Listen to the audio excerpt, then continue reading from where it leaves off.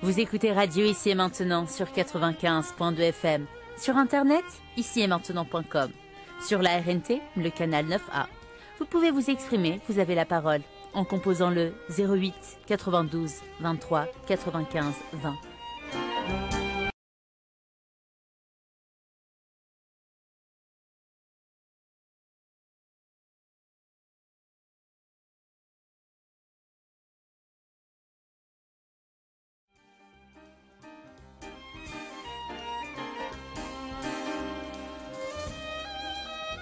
David Abbassi, écrivain, historien, philosophe, est avec vous tous les lundis et chaque dernier samedi du mois dès 23h.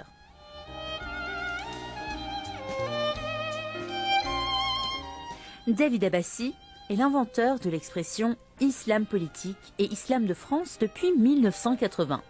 Il a écrit plus de 120 livres, plus de 5000 articles et a réalisé plus de 7000 heures d'émissions radio, télévisées en quatre langues.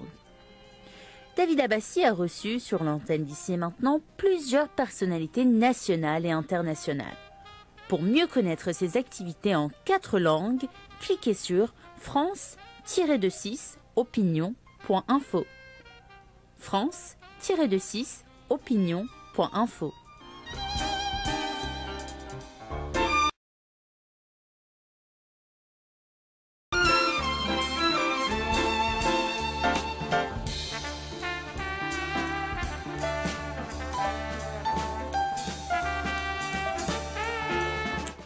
Alors, on vient de tuer un journaliste, Jamal Khashoggi.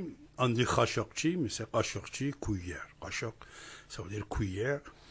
En turc, en persan. ce n'est pas arabe. Jamal arabe, mais Khashoggi, celui qui vend des cuillères. Turc et perse. Euh, son grand-grand-père était médecin de roi euh, d'Arabie Saoudite, Abdelaziz.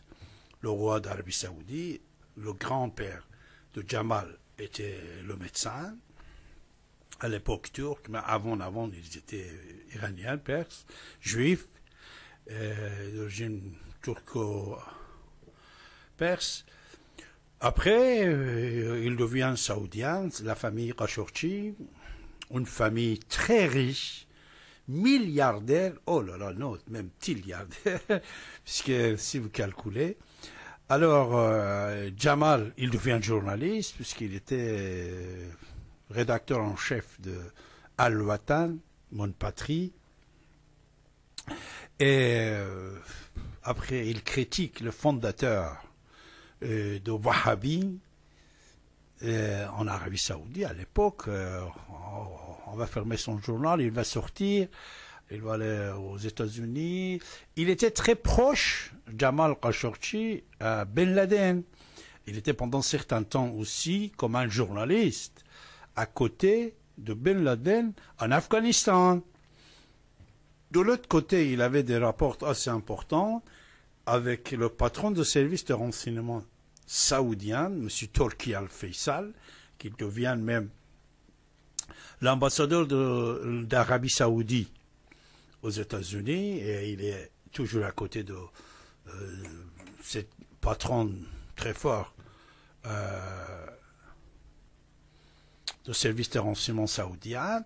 Et une fois qu'il euh, y a le 11 septembre, M. Turki Al-Faisal va quitter les États-Unis parmi les autres, comme vous êtes au courant, comment ils ont quitté les Saoudiens. Euh, mais Jamal, il reste toujours là-bas. Euh, même il a essayé de créer une partie politique, soi-disant moderne, pour les Saoudiens, mais c'est un peu bizarre, je ne sais pas, parce que lui, il dit moderne, mais de l'autre côté, Mohammed Ben Sultan, héritier actuel, qui est moderne, qui l'a montré comme quoi il est moderne. Il a dit, je veux ouvrir des discothèques, des casinos, les femmes conduisent, et même il a commencé à faire ça. Alors, on était contre lui. C'est pour ça qu'on disait que même il était salafiste. Euh, pourquoi Puisqu'il était avec Ben Laden, etc. Mais euh, son assassinat, c'est une longue histoire de pétrodollars. Moi, je ne veux pas vous dire ce que je pense. Pourquoi il était assassiné C'est à vous de nous dire, euh, Jamal Khashoggi.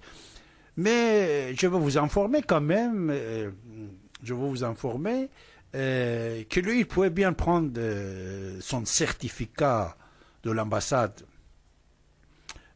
d'Arabie Saoudite aux États-Unis ou en France ou à Londres. Pourquoi il est dirigé vers le consulat en Turquie d'un côté?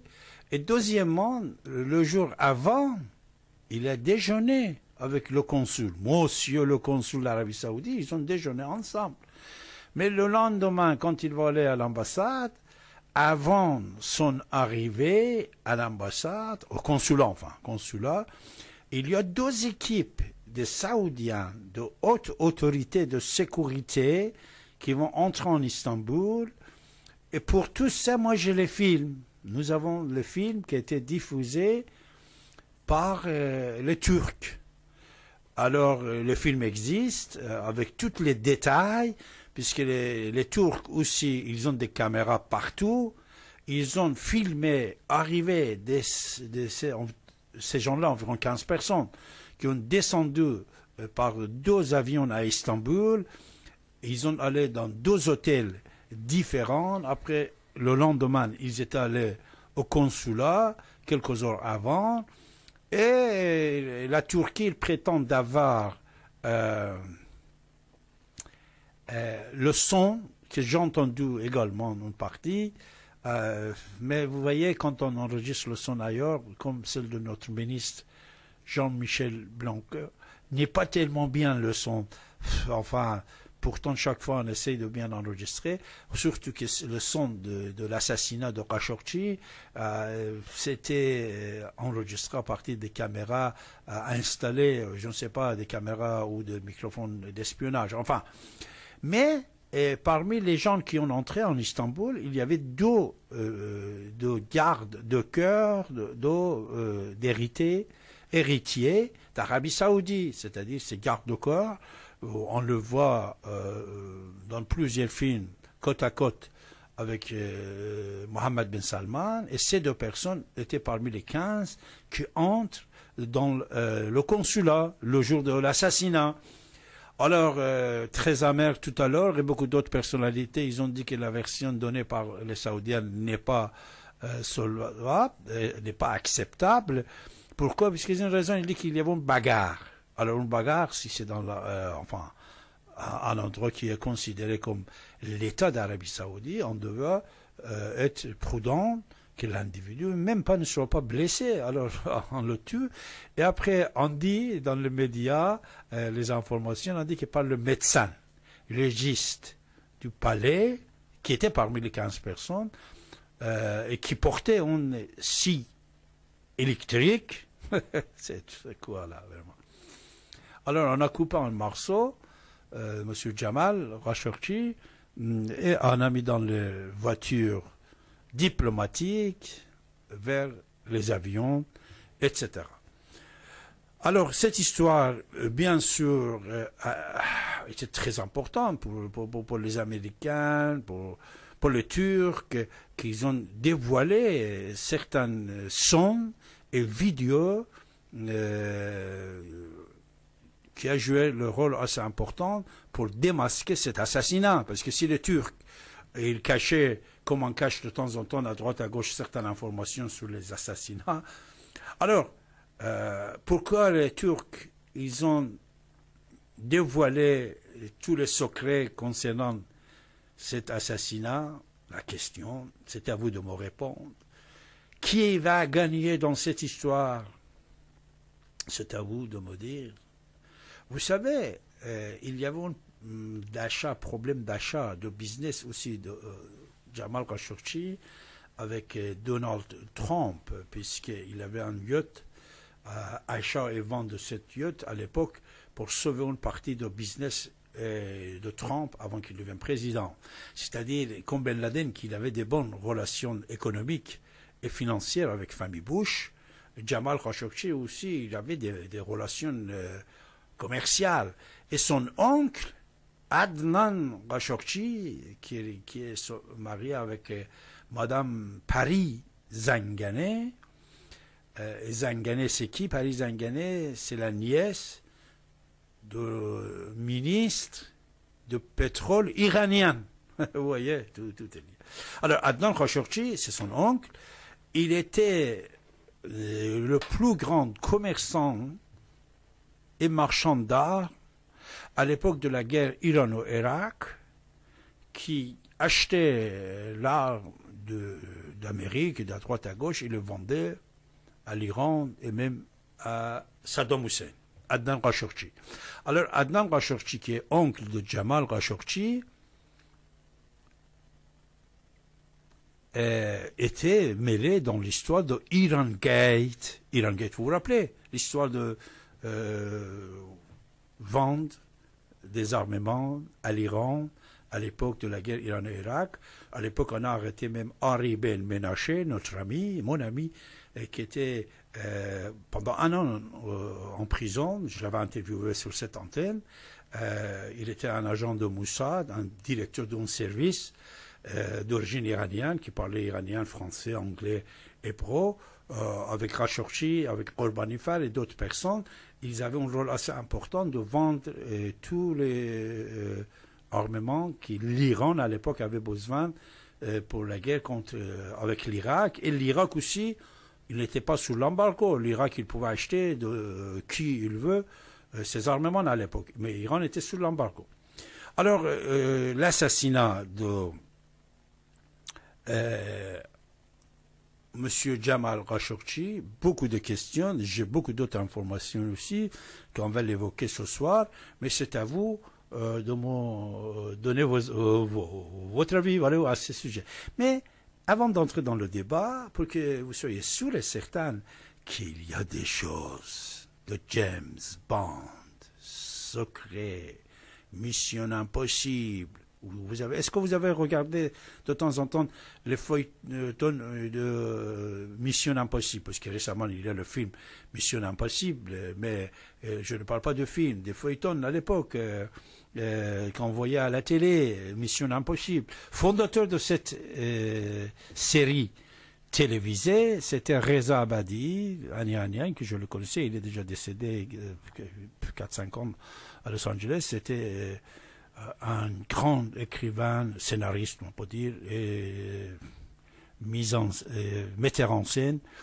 Euh, aux États-Unis, à Hollywood, c'est lui qui avait pour la première fois l'idée de, des émissions, de, de, feuilletons de Mission Impossible. Dans tout ça, vous voyez des choses que exactement l'assassinat de Rashorchi entre dans cette histoire. Et pour découvrir pourquoi, je vous dirai tout à l'heure, mais je vous informer d'autres choses, malheureusement, la même chose est arrivé la semaine dernière en Iran quelqu'un qui moi aussi je le connaissais parce que euh, grâce au réseau hum, que vous connaissez, hein, euh, réseau euh, internet, hein, voilà. J'avais des contacts avec lui. C'était un médecin. Il s'appelait Dr Farshid. Il était un médecin opposant autant qu'il pouvait en Iran alors, on a découvert le cadavre de ce monsieur le dimanche à 18h30 à Téhéran. Il était poignardé et coupé comme Adnan, comme Jamal Khashoggi, après brûlé, brûlé dans sa voiture. Voyez, les deux ressemblants. Mais celle de Jamal Khashoggi, tout le monde en parle. Par contre, de Farshid, personne n'en parle. Et avant l'histoire de, Jamal Khashoggi, vous savez qu'en Arabie Saoudite, toujours on coupe la tête, euh, on fait ça. Toujours il y a des choses, mais jamais on n'a pas parlé. Pourquoi tout d'un coup ça arrive Jamal Khashoggi? Et pourquoi tout le monde en parle? Et pourquoi Et pourquoi Et pourquoi? Et c'est à vous de nous répondre. C'est votre tour. C'était même dès le départ de notre émission de commencer et parler avec nous, n'est-ce pas? Parler. Euh, vous pouvez prendre le combiné de votre téléphone et composer le 08 92 23 95 20 et donnez-moi votre avis